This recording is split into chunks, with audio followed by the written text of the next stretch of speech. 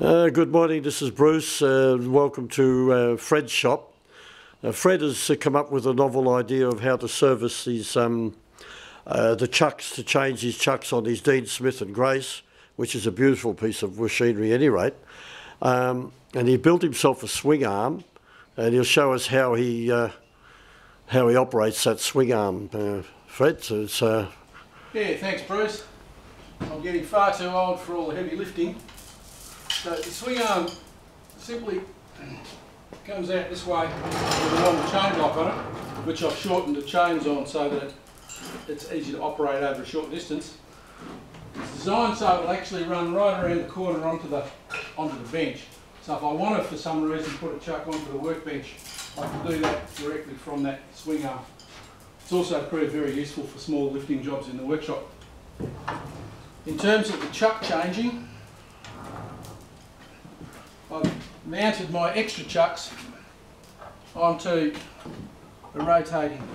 just swing that back again, Fred. Just swing it there and swing it there. Yep, okay, that's good. So Yep.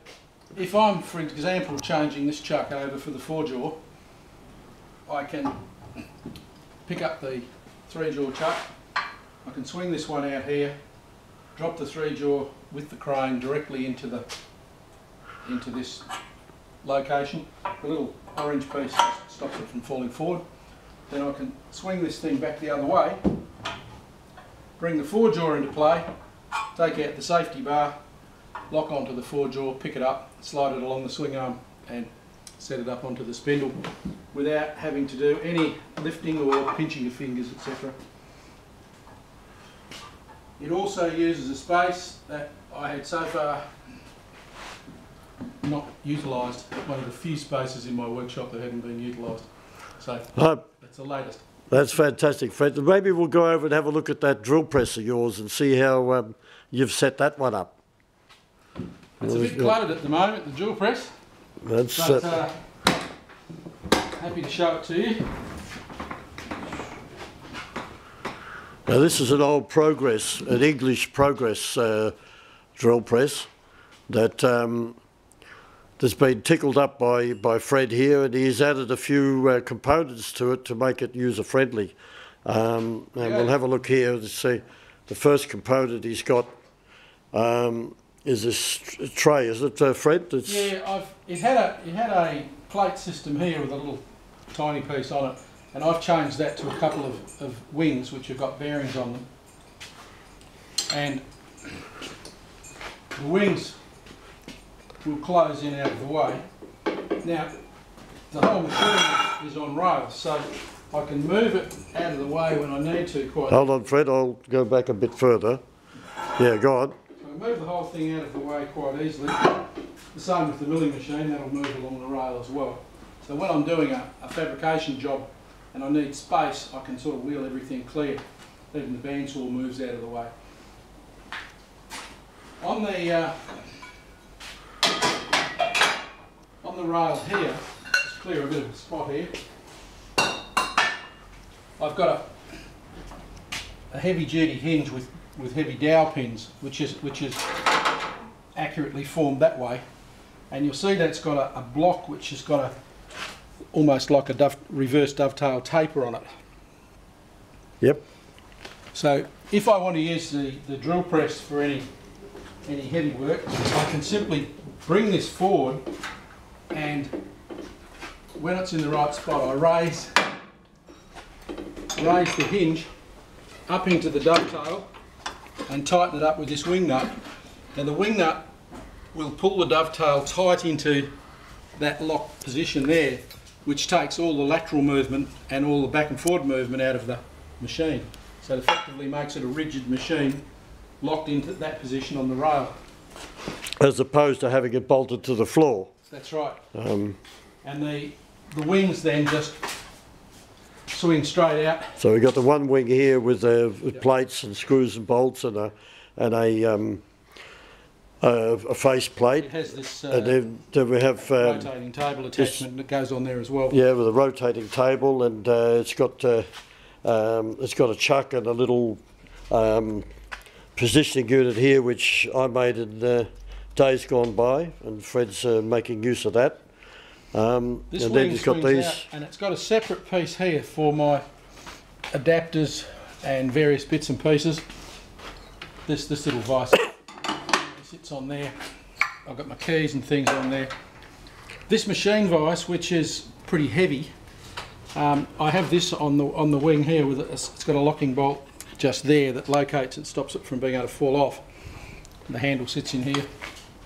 I can lift this part of the table up until it's level with this, swing this across, and then just slide the vice onto it without having to lift it once again. So less trips to the chiropractor basically. Um, once it's finished with, I just match the table height to this, slide it back, and it's out of the way. When I'm not using it, it can just swing to one side. Swing to one side. Underneath the table on this, I've mounted a flat piece of 8mm plate and that allows me to easily clamp onto the bottom of this wherever I like. If, I'm, if I don't want to use the actual uh, T-slots, I can, I can use straight Use that for, yeah, and I've because got nothing underneath. most of these cast cast tables have got uh, all sorts of um, cavities and they're not flat underneath and that. So Yeah, you you've mad trying to compensated that by by putting this plate on, and um, that's excellent. Yeah, Lovely that's- old machine, this one. Very happy yeah. with it. This is a, Progress a 4. Progress uh, 4 4E rated England from days gone by, um, and uh, it's uh, it's one that um, I. I received from uh, an old gentleman who could no longer work and had no drive system on it. And Fred also went to the trouble to build a, a, a, a drive system for it because it had a gear had a gearbox section up the top there, and, and he's uh, made made this plate work. Um, laser cut and welded and fitted and mounted a motor, uh, flanged motor that I had. Um, and uh, we've wired it up and set it up and this is um, it's a majestic piece of machinery. It's got um, uh, it's got it's a geared head machine plus plus the V belt drive, and then it's it, within itself it has um, it has these three speeds uh, feed speeds, and the uh, lovely old nut here that you, you turn it in and that locks the the system into working. Um, and the retraction of the quill is done through a chain, um, through a chain round a round a pulley, down round another pulley, and down through the pedestal. And there's a balance weight inside there that um, that does the retraction.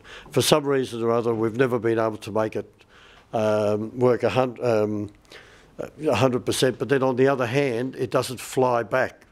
So um, it's, it's got a bit of both because when you've got those spring affairs inside uh, here, they have a tendency to um, knock people's jaws about if they're um, if they're not uh, not aware of what they're doing. At first So- I was a bit bothered by that, but I've actually found the non-flyback retractable bit is good because I can actually, when I'm setting up, I can sit it wherever I want and make my fine-tuning adjustments for clamping or whatever, and then I can, can use it. And the actual spring back hasn't been a problem. Yep. I could always rectify it by putting a heavier counterweight in, Yep. but I don't think I will because I quite like it like this now. Yeah, that's right. And these and these machines are really solid castings, and uh, and the quill drive is is, is quite accurate.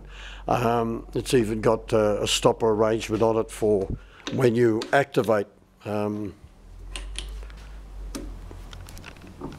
you've got uh, I've got to turn that.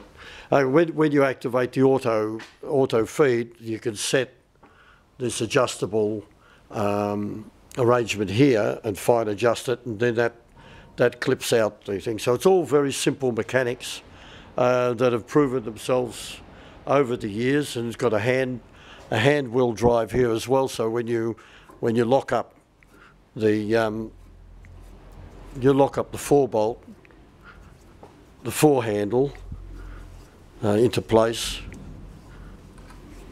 then then this this handle drive comes into. Uh, oh, sorry, I, I missed that. So the handle drive then comes into um, into action.